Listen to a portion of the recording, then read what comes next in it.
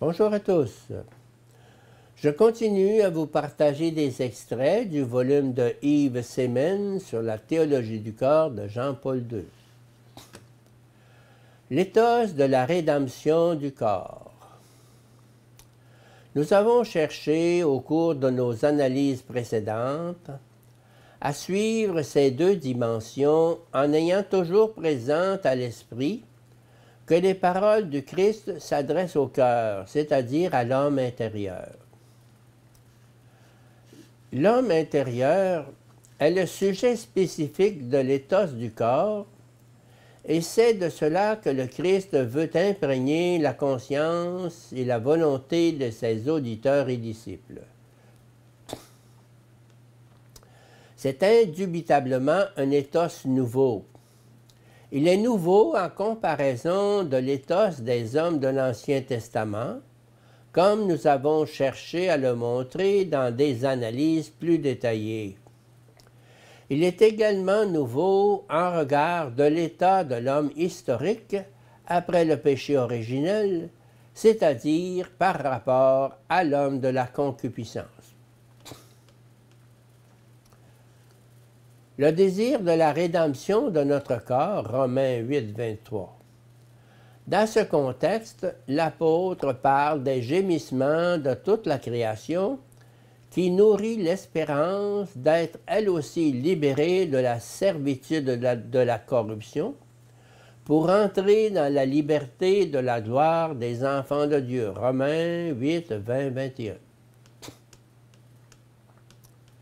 De cette manière, Saint Paul révèle la situation de tout ce qui est créé, et en particulier celle de l'homme après le péché.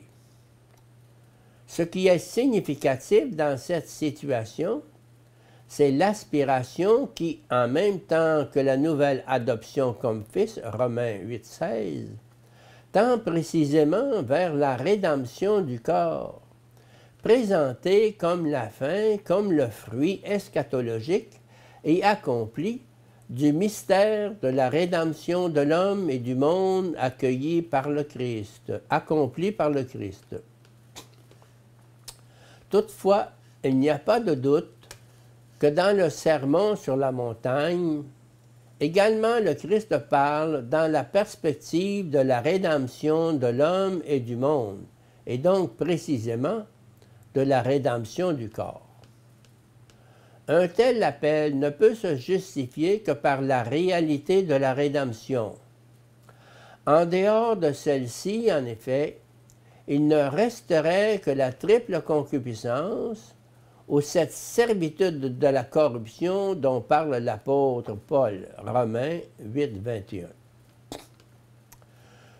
Seule la perspective de la rédemption justifie l'appel à l'origine ou à la perspective du mystère de la création dans tout l'ensemble de l'enseignement du Christ au sujet des problèmes du mariage, de l'homme et de la femme et de leur rapport mutuel.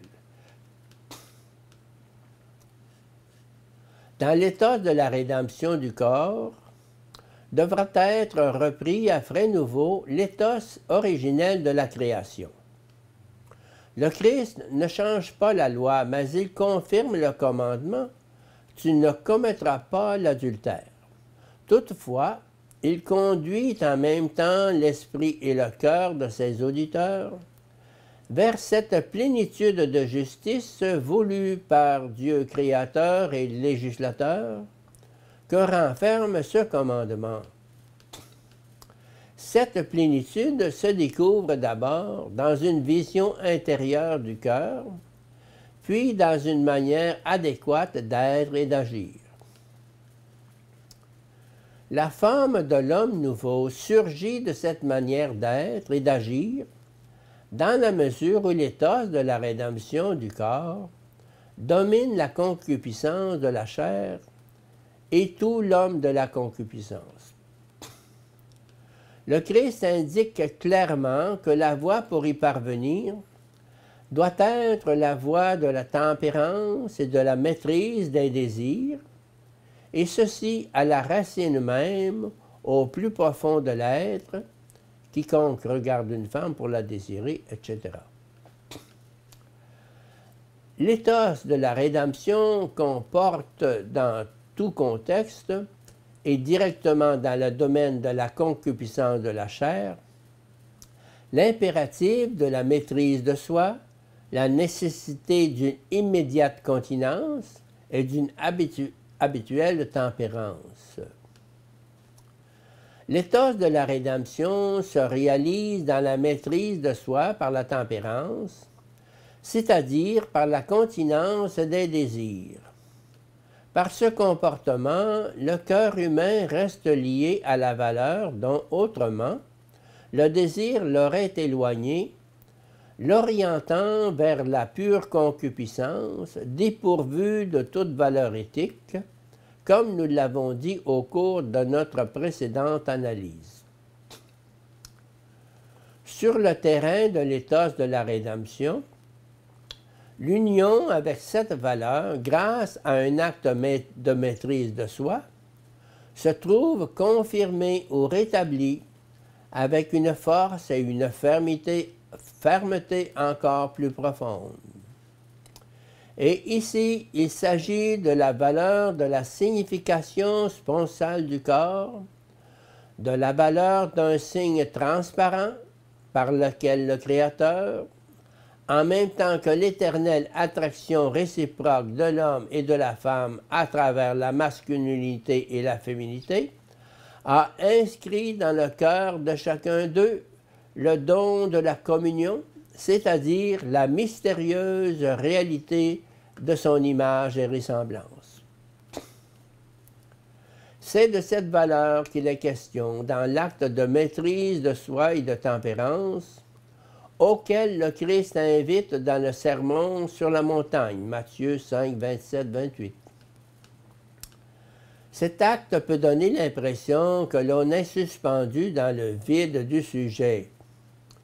Il peut donner cette impression en particulier quand il est nécessaire de se décider à l'accomplir pour la première fois, ou plus encore quand s'est créée une habitude contraire, quand l'homme a pris l'habitude de céder à la convoitise de la chair.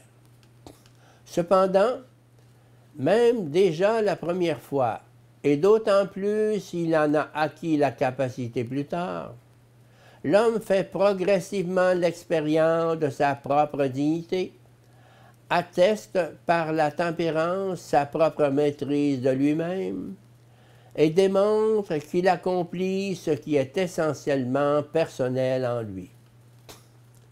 Et de plus, il expérimente progressivement la liberté du don, qui est d'un côté la condition et de l'autre la réponse du sujet à la valeur sponsale du corps humain dans sa féminité et sa masculinité.